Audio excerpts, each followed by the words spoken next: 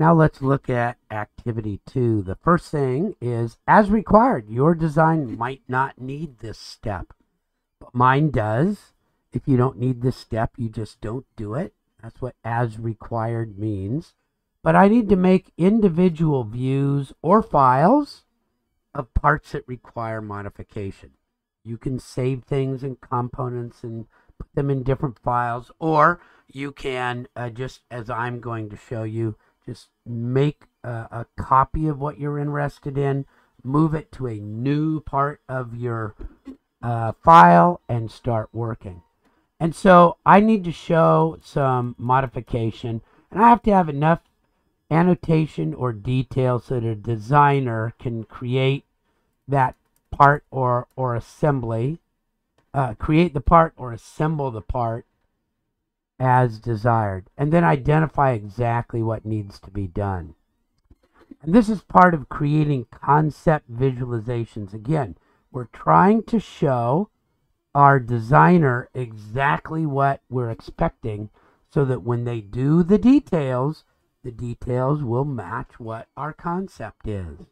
So let's take a look at it. Here I've made a new scene called Rod Rework. Remember, I, I from over here, I showed that item 4 needed to be reworked. So that's what I need to do. And I need to rework it so the end accepts the rod adapter from uh, and, and, and from the purchased mechanism. So let me go to my rod rework.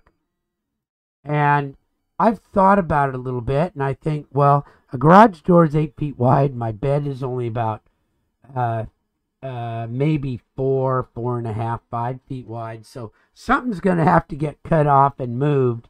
And so whatever I need to do is I need to shorten this rod to fit the bed width. I mean, I can't have an eight foot wide one. Um, and then that means that I'll have to move this bracket mount in words and I have to do it enough so there's room for the adapter.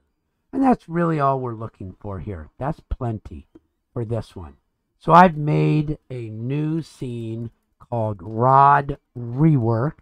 And this is enough for a designer to start working with.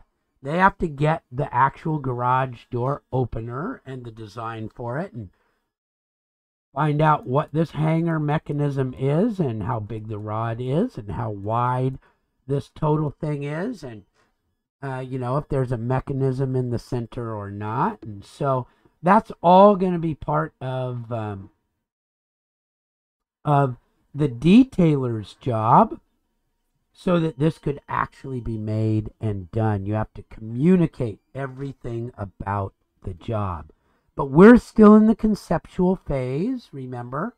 And so we're just kind of tying it down. And again, when this gets into its next design review, if the um, if the uh, designer doesn't feel they have enough information, they'll kick it back and ask for more from the concept designer, which is you.